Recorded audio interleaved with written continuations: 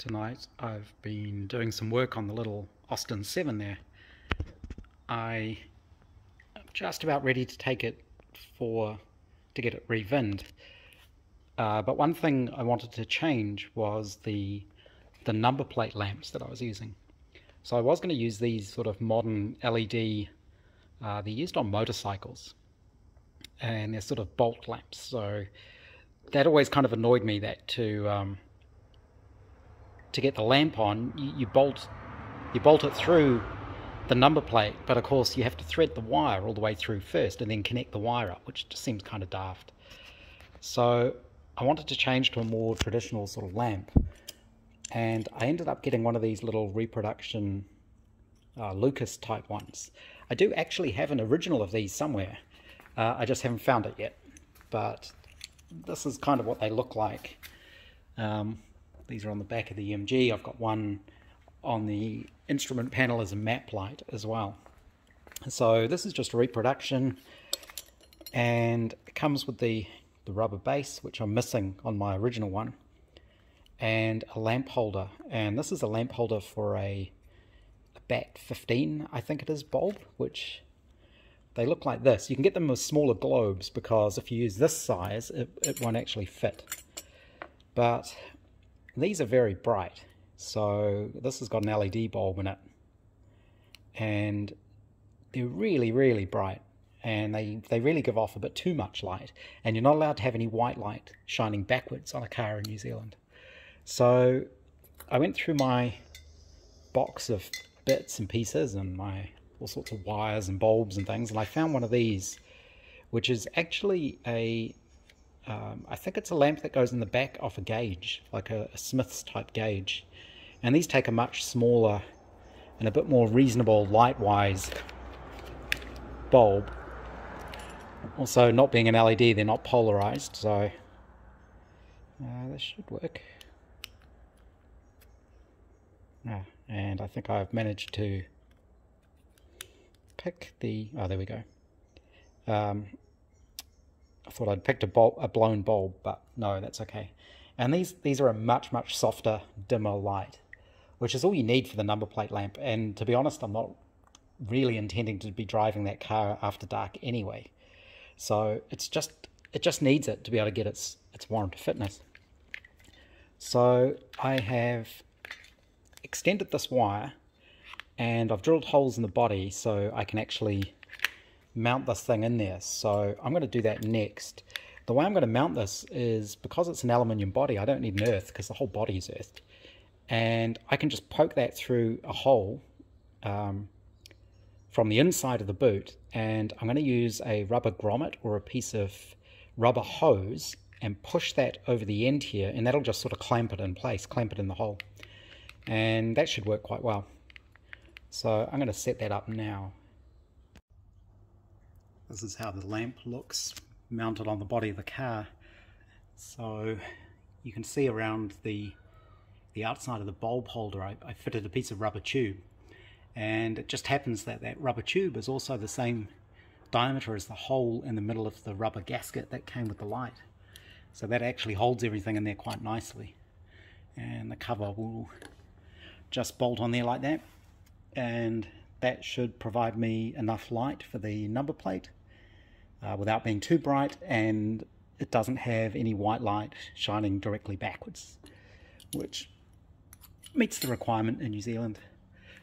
Uh, the wiring, because it's earthing through the aluminium body, it's just a single wire, and I'm just going to tie that up to the uh, the steel chassis rail there, uh, the steel frame rather, and that'll just keep it out of the way. I'll put it, tuck it right up behind there, and then it can't get damaged by anything rattling around inside the the boot.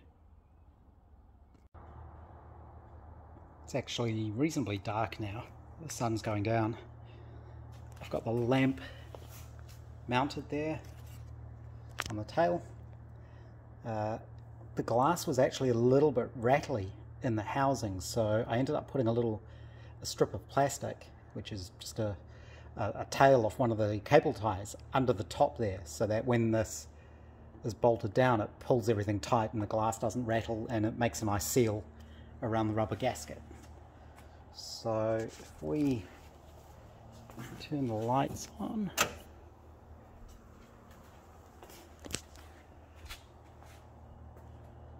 Yeah, I think that'll work fine.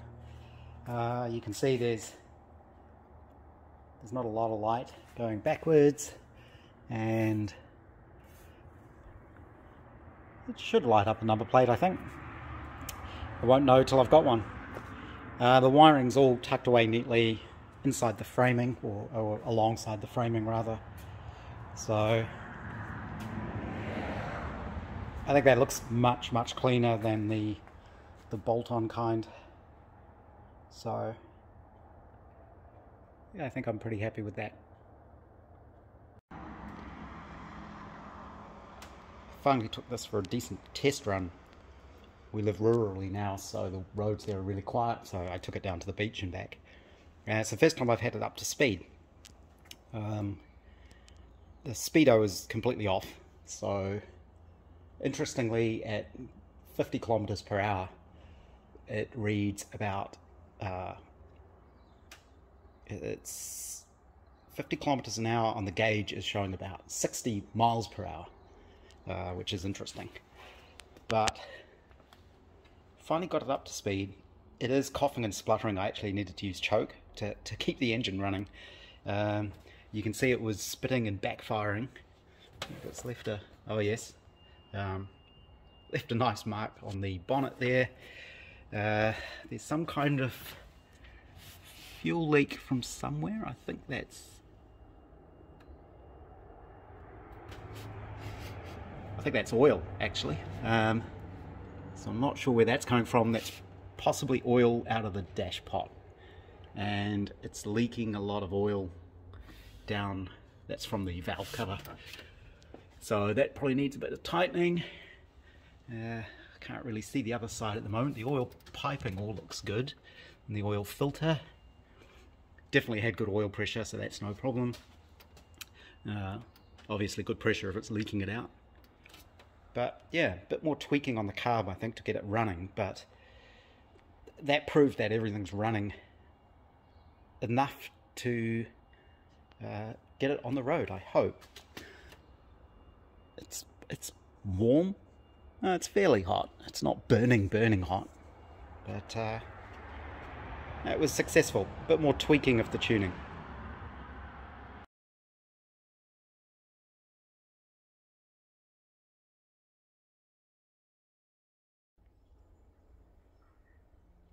One of the other things I've done with the car is I started looking a bit more closely at the the sort of hole I had in the throttle response. And I took a, a closer look at the downdraft carb I've got on the car. And the thing with downdraft carbs is normally this is up the other way. So the the damper inside there which is this piece goes up and down assisted by gravity. Um, the way this works is, if I can get that out, the only bit that's really meant to be touching is that thinner rod in the middle, which which goes up and down inside the the um, the dashpot part there, the tube, and uh, that's the bit that you oil because that's meant to be the only sliding contact. So you can see how the piston slides up and down in the housing, but it's not supposed to be touching all around the edges here. And in the vertical ones, where it's that way, that's a bit easier to manage because there's no side loads on the on the piston. On the downdrafts like this, because it's lying on its side, if there's any slop in that middle piston and cylinder, this outer thing can rub and it can stick. And I think that's what's happening on this carburetor. Um, in the downdraft ones, you also have a big spring inside here to, to help push this back. Um, of course, also the spring is going to have an effect on how how much force there is stopping that piston going going up. Um, the what I found with this one is this carb body had been, I think they'd blasted it at some point, bead blasted it, because the, the brass piston was, was quite a sort of matte, dull finish. And after playing around it with it a little bit, I sort of polished it up. And after doing that, I was able to move it up and down in position on the carburetor like this. And I was able to see that it was actually scratching, scraping. So I carefully polish just the part where it scrapes.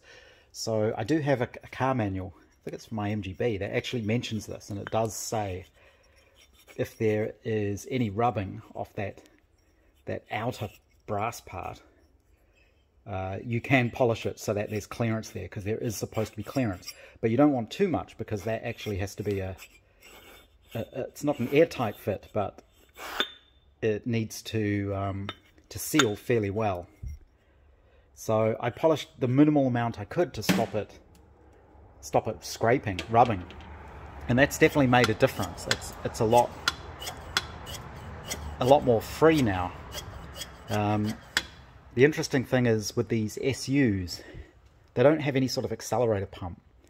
So the way it works, when you when you open the throttle, what's supposed to happen is the because of the inertia in this piston, it doesn't move straight away, which means you get a higher air through, airflow through the throat of the carb, um, which sucks more fuel through until this all kind of equalizes. So exactly how the spring affects all of that, it, it all gets a bit strange. Um, but after doing that and putting it all back together, it does seem a bit better. I haven't driven it on the road yet to, to really check, but definitely starting it and um, running it when it's warmed up seems a lot better. There doesn't seem to be as much of a hole in the throttle response, but I do I do find still if, if I open the throttle up quickly, uh, it does bog down still. So I probably need to go back and reset up the the um, the mixture, which is this nut here. You you adjust that up and down, which changes the mixture. And of course, I do have my um, my exhaust oxygen exhaust sensor that I can bolt into the manifold and, and check it properly. But uh, definitely seems to be working a bit better now. So I'm sort of I'm on the right track, I think. Uh, this is a second downdraft carb that I've got that was damaged that I've repaired where part of the housing is broken off. Uh, I need to get a rebuild kit for this. Uh, if I go ahead and supercharge this car, I'll probably use this carburetor just because it's got the, the mounting flange for an air filter. And I think it would be a good idea to to have an air filter on there. But uh, you, you can see this is pretty much the same carb. One thing I did look at doing was swapping around the dashpot and piston off this carb and putting it on this one. And sometimes you can get away with that. Um, I think the the dashpots and pistons are kind of a matched set, but what I found is I couldn't put this this dashpot onto this body. It just wouldn't fit um, without modifying it, and I didn't really want to do that. So that's why I ended up cleaning up the original one. So it's, it's going to take a bit more playing around. I think I'll have to do a lot more road testing with it, but it's definitely getting better.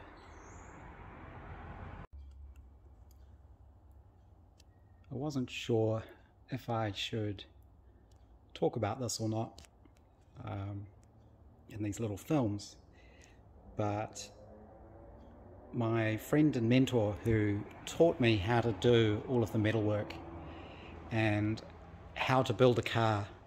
Um, not just the technical stuff and the and the sheet metal stuff, but and the welding and all those kind of things, but also what a car should be and what story it should tell and how you should think about it when you're building one. Um, sadly, he died recently, and uh, yeah, I'm not sure if I've, I think I've mentioned it before in the past, but uh, the Riley here was, it, it was his car basically to start off with. And he collected the parts over many years. Uh, I think it was kind of one of his dream cars to build. And he realized he didn't really have the the funds to, to, to build it, so it ended up coming to me. And the idea was um, you know, he'd help me build it. He'd teach me how to build it, and I'd put it together. Uh, I ended up moving to Wellington, so the car came with me. but the idea was still to to build the car. And uh, eventually, he got sick. He got cancer, and that's kind of when I really started thinking, well, I need to to to start getting going on this car.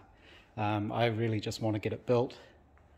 Uh, like I say, it was his dream car, so you know I kind of owe it to him to to build it and build it properly and build it how it should be. So that kind of explains why I've been going so hard out on this car for, for a while. And I was hoping I would have it sitting on its wheels for him to see it. Um, I'm so close now.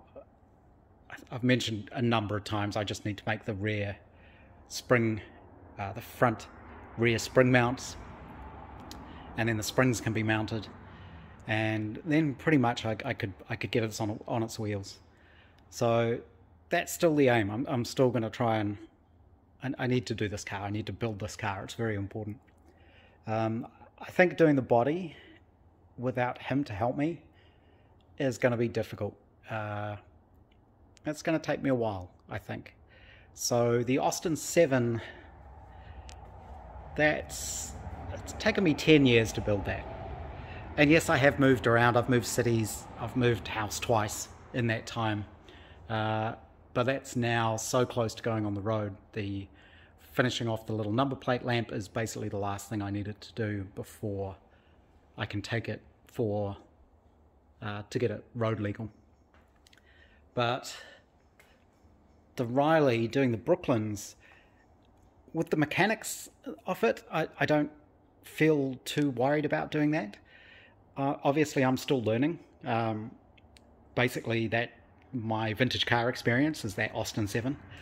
But like I say, I've been working on it for 10 years. I've been trying to learn everything I can. I've got a lot more confident with working with these older vehicles and the systems in them and how the steering boxes work and how the gearboxes work and the suspension and the brakes and all that kind of stuff. And to be honest, once you start looking into it and you start researching it and reading about it and looking at cars, it's not all that complicated. Um, this is 100 year old technology, it's not that sophisticated. And if you're just careful, you can, you can do things relatively easily. Um, it still takes me quite a few goes sometimes to get things right, but I'm definitely getting more and more confident with what I'm doing. The bodywork, however, is another story. Um, I kind of know in theory how to do it. Um, I think people who've been watching some of these films will have seen how long it took me to do the guards because I was kind of working it out by myself as I went along. And my friend was helping me. He, he was offering suggestions and things, and uh, he had a very good way of teaching you where he'd, he'd show, he'd demonstrate and explain, and then let you do it yourself. And sometimes he'd let me do it myself and do it wrong. And then at the end, tell me, well, say to me, well, why did you do it that way? You could have done it like this. And I'd sit there and say, oh, of course, how obvious. But of course, it isn't obvious when you've never done it before and you don't know. But that was always a really good way to learn the lesson. Um, just simple things. So, for example, the guards. If you look at this guard, the shape of it, there's a little bit of a curve there, and there's the curve over the wheel. I made that as three pieces effectively the sides, the top, and the other side. Uh, but after I'd done that, he said to me, Well, why did you make the middle in three pieces? That's just straight, that's flat. You could just make it from one piece flat with the sides bent down. Which, once you've been told that, yeah, that's obvious, but uh, I was just so focused on building it the way I was building it, I, it didn't even occur to me. Um, and so, not having someone like that to explain things, um, show me the best ways to do things, and just encourage me and um, you know make make sure I do everything properly in the way it's supposed to be and, and true to period and true to the story of the car, which is very important. So I'm I'm going to keep going on this on the Riley. I want to get it on its wheels, get it to be a rolling chassis. I want to start assembling the engine uh, the gearbox is there. The engine, I need to do a test fit off the um, the conrods on the crank. I need to make sure the flywheel is sitting correctly on the crank. And then I can send the rotating parts off to be balanced. And then once that comes back, I can start actually assembling the engine. Um, with the engine assembled, I can mount that in the car. Uh, I have all the parts to build the rear axle. I need to clean this up obviously and paint it. Uh, same with the torque tube, clean all that up and paint it. Um, and then it's just things like the brakes, getting the brakes working, and slowly you break it down. So the cooling system, the electrical system, the fuel system, all of that kind of stuff. Um, but building the body and getting that correct, that's that's it's going to be difficult for me, I think. But I'll give it a go. Uh, and the thing with these old cars is you you can always build another body, rip the old one off, build another one, put it on. So that's kind of where I'm at with the Riley at the moment. Um, yeah, it's just it's it's it's just a funny time.